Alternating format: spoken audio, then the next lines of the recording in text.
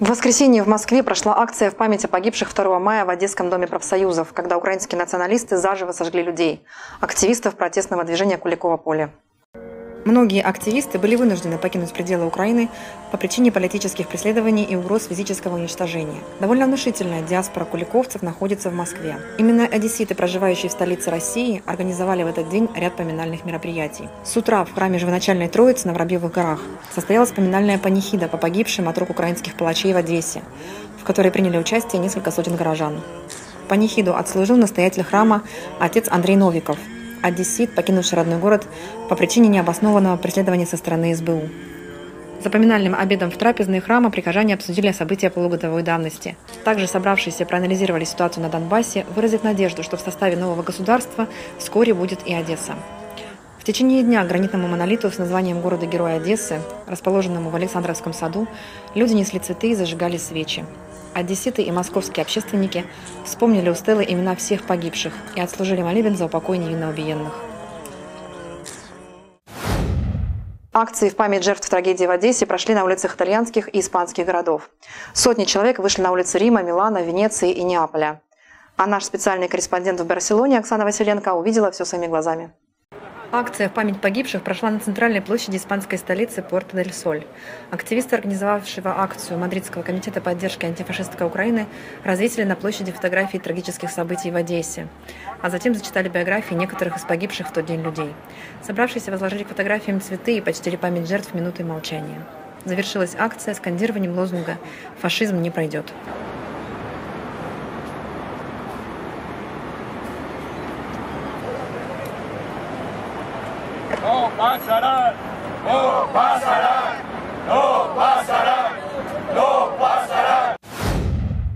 Самой Одессе утром 2 ноября на Куликовом поле собрались одесситы. Они несли цветы к импровизированному мемориалу погибшим 2 мая. Основной траурный митинг и панихида были назначены на 2 часа дня. Однако около часа в милицию якобы поступило сообщение о минировании Куликова поля. Площадь оцепили, а находящихся там людей попытались выпроводить за ее пределы. Организаторы акции решили провести панихиду за пределами оцепленной территории возле памятника погибшим революционерам. Однако вскоре после начала мероприятия сотрудники милиции сообщили, что завершили проверку и позволили людям пойти на площадь. Собравшиеся держали портреты погибших, флаги Одессы. В рамках мероприятия в небо были запущены традиционные уже для Куликова поля черные траурные шары.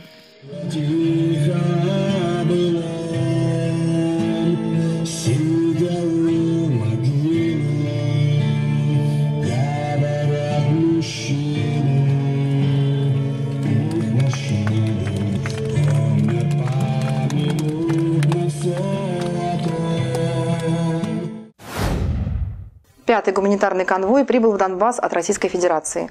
18 грузовиков доставили около 350 тонн стройматериалов, продукты питания и 5 тонн медикаментов. Строительные материалы предназначены для Центра управления восстановлением ДНР. Благодаря этим материалам быстрее восстановят жилье жителей Народной Республики. Прибывшие медикаменты предназначены для больниц. Первоочередной задачей оказалась профилактика простудных заболеваний, вызываемых существенным похолоданием. Значительную часть груза составили антигриппозные медикаменты. Помимо этого для больниц пришло постельное белье и акушерские комплекты. Приемом и распределением будет также заниматься Центр управления восстановлением, в который уже были направлены заявки на получение гуманитарной помощи от больниц, где расписано чего и сколько нужно каждому медицинскому учреждению. Луганская Народная Республика наконец начала получать электричество из России. Российские монтажники вели работы больше месяца, и в ближайшие дни свет зажжется во всем Луганске. В преддверии зимы в ЛНР ускоренными темпами восстанавливали линии электропередач. Российские специалисты помогают в этом электрикам из Луганской республики и уже принимают слова благодарности от правительства ЛНР за восстановление линии из Луганска в Ростов-на-Дону. Даже во время перемирия работать монтажникам приходилось в условиях войны. Из-за боев отдельные участки магистрали были полностью разрушены, а во многих местах электрики находили мины и растяжки. Подстанция Ольховская – это лишь необходимый минимум. На ТЭС в городе Счастье надежды руководства республики мало. Станция до сих пор находится под контролем украинской армии. Активные явки на выборах главы Луганской Народной Республики и депутатов Народного Совета смогли бы позавидовать многие западноевропейские государства. Такое мнение высказал депутат Европейского парламента от Греции Сатириус Заренопулос, который прибыл в качестве наблюдателя в ЛНР и следит за выборами по собственной инициативе, не по поручению Европарламента. Люди идут на выборы как на праздник. с надеждой на мир, на светлое будущее. На улицах проводятся акции и концерты. А на театральной площади Луганска выступила российская певица Вика Цыганова.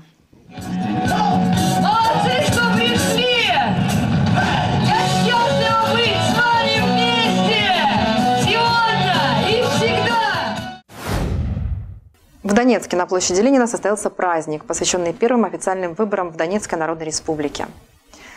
Перед дончанами и гостями города выступило множество местных творческих коллективов. Гостями праздника стала российская группа «Симбэ». Как в старые добрые времена в Донецке проходят гуляния. Сегодня город празднует важнейшую веху в жизни республики. Первое в ее истории – выборы. Вопреки холодной погоде, центральная площадь города полна жизни. Перед дончанами и гостями города выступило множество творческих местных коллективов, которые зарядили всех жителей города положительными эмоциями и согрели народ теплой атмосферой мероприятия. Как настроение ваше? Нормально, празднично. На выборы ходили? Ходили, Сделали свой выбор? сделали. Нравится концерт?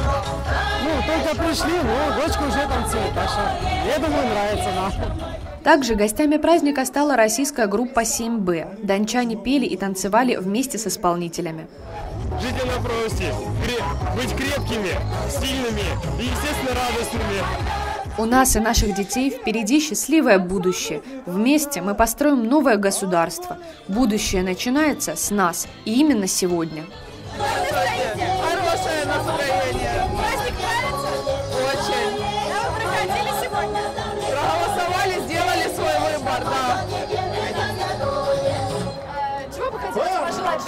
Новороссии? Хотелось бы пожелать, чтобы они держались, не сдавались, что все мы преодолеем, и победа будет за нашим родным краем. Специально для Новороссия ТВ Маргарита Миронюк и Тарас Мирный. В Донецке на улице Артема прошла презентация граффити под названием «Начало мирной жизни». Об этом далее в сюжете. Насытившись красками военного антуража, художники Донецка решили разбавить камуфляжную палитру яркими красками, представив в центре города духоподъемное граффити, украшающее фасад здания возле парка «Сокол». По словам художника, подобный арт-объект подтверждает то, что люди устали от войны. Все было в крайне сжатые сроки. У нас была задумка успеть до выборов. И буквально где-то 4 дня на обсуждение эскиза до финальной стадии доведенного и 4 дня на исполнение на стене. Ну вот сейчас я вот пятый день сижу. Дедушки ходят, молодцы, пацаны. Ну, кричат потихоньку такие. Исполинских размеров рисунок радует глаз бесчисленного множества наших соотечественников и гостей города. Основные символы Донецкой Народной Республики и слоган «Завтра наступает сегодня» выражают общую идею произведения, которая убеждает, что в будущем Донецк ожидает только развития и успех. Ну что, красиво. У нас же возле манежа там разрисовали красиво. Граффити тоже что-то. Целую стену. Так красиво. Это была серая стена, старая, грязная. И вообще некрасиво. А сейчас. Граффити, появившиеся в считанные дни, с позволения городских властей, знак солидарности молодежи к избранному курсу новообразованного государства и его лидерам. По словам создателей, подобный эксперимент – начало распространения культуры граффити в Донецке и искусства в целом среди молодого поколения Донецкой Народной Республики. Да, но времени, конечно, мало. Если бы было больше времени, то можно было бы и больше расписать, и, и больше контекста туда вложить. Ну, чем больше времени, тем больше работы. Чем больше работы, тем лучше качество. Дмитрий Подорожник, Тарас Мирный, специально для Новороссия ТВ.